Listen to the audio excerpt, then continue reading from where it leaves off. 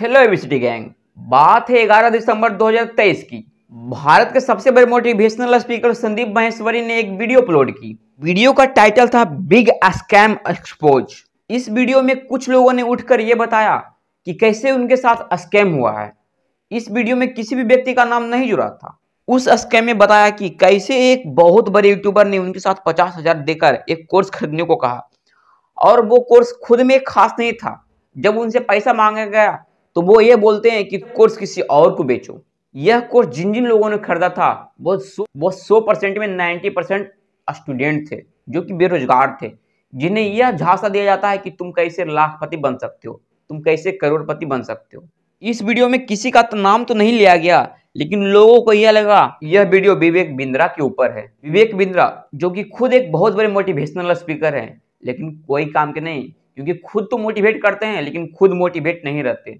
विवेक बिंद्रा एक बहुत बड़े मोटिवेशनल स्पीकर के साथ साथ एक बहुत बड़े बिजनेसमैन भी हैं। 11 दिसंबर को संदीप सर ने एक वीडियो अपलोड की तो उसके जवाब में 18 दिसंबर को विवेक बिंद्रा ने लाइव आकर यह सफ़ाई दी कि मैं चोर नहीं हूँ। खुद सोचो कि कोई व्यक्ति चोरी नहीं करता है तो वो क्यों कहेगा कि हम ही चोर हैं? वो तो अपना शांत से रहेगा, आराम से रहेगा। विवेक बिंद्रा ने जब यूट्यूब पर लाइव आकर कहा, सबको यही लगा कि यही चोर है।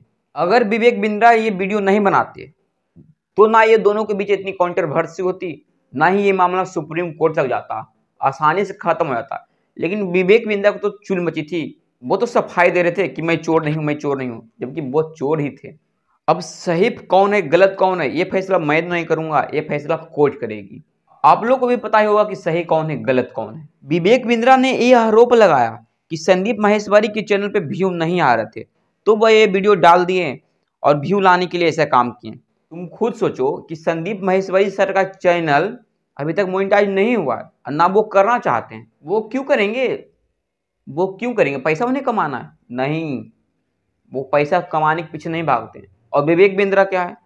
जो कि खुद उनका चैनल मोनिटाइज हो है और एक चैनल नहीं, उनका कम से कम बीस चैनल है यूट्यूब पे। सोचो कि जो पैसा कमाने के लिए बीस बीस चैनल यूट्यूब पे बना सकता है, और जो बंदा अपना चैनल मोनिटाइज नहीं कर सकता तो उसे व्यूज़ का क्या मतलब? उसे पैसा का क्या मतलब? एक चोर दूसरे अच्छे इंसान को कर रहा कि आप चोरी कर रहे हो।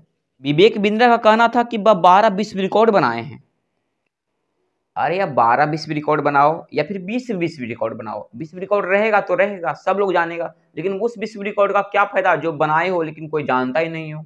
उन्होंने कहा कि जरा सा भी कोई बोल दे तो उसका पैसा वापस कर दिया जाता है। अगर व्यक्ति जरा सा भी कोई बोल देगा तो पैसा वापस करेगा तो इतना बड़ा कॉन्ट्रोवर्सी होता ही नहीं आप दोनों के बीच में।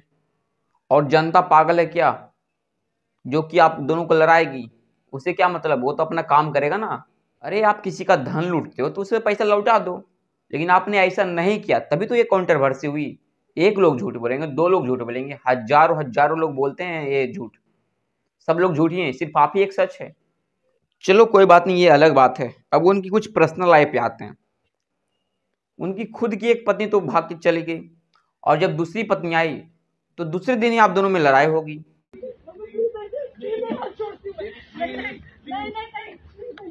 क्यों लड़ाई हो गई? आप तो एक बहुत बड़ी मोटिवेशनल स्पीकर हैं, बहुत ज्ञान बोलते हैं कि ये है, वो है वो है, बहुत ज्ञान बताते हैं। लेकिन आप ही के ऊपर जब बात आती है तो ज्ञान कहाँ पता चला जाता पता भी नहीं चलता हम लोगों को। अब व्यक्ति जो मोटिवेशनल स्पीकर है रामायण महाभारत की बात करता है वो अपनी पत्नी को मार रहा है वीडियो भी वायरल हो रही है। उनकी पत्नी ने यह आरोप लगाया कि शादी के दूसरे दिन ही उनके साथ मारपीट हुई और उनके एक कान से सुनाई भी नहीं दे रहा था। कौन सही है कौन गलत है? विवेक बिंद्रा सही है कि संदीप महेश्वरी है? यह तो फैसला तो कोर्ट ही लेगा। या फिर यह डिसीज़न आप लोग ले सकते हो? सर ये भी बोलेंगे कि हमने पत्नी को नहीं मारा। तो थाने में रिपोर्ट कैसे हो गया? अब बोल, अब उनके पे आरोप लगेगा तो बोलेंगे ना कि हम नहीं मारे, लेकिन वीडियो भी वायरल हो रही थी, आप लोग भी देख सकते हो वीडियो। संदीप सर ने किसी पे आरोप नहीं लगा, ना ही किसी के बारे में कुछ बताया। विवेक बिंद्रा सर ने खुद के ऊपर आरोप ले लिया कि हाँ मैं चोर हूँ, अपने सफ़ाई में बोल रहे थे। आप अगर जो सही रहते तो आप कुछ बोलते ही नहीं, आप बीच में सफ़ाई भी नहीं देते। अच्छा नहीं था, हम जानते लेकिन फिर भी आप लोग लाइक ज़रूर करना।